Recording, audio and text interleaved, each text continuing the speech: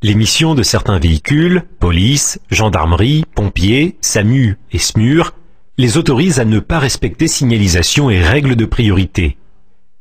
Ils sont alors prioritaires et signalent leur statut à l'aide d'avertisseurs spéciaux, klaxons à deux tons et feux à éclat de couleur bleue. Vous devrez faciliter toutes les manœuvres d'un véhicule prioritaire, dépassement ou croisement, et lui céder le passage à toutes les intersections. Ambulances et véhicules d'intervention d'urgence tels que Gaz Secours et EDF Secours utilisent aussi des avertisseurs spéciaux afin que les autres conducteurs leur facilitent le passage. Laissez-les passer, mais sachez qu'ils ne sont pas prioritaires aux intersections.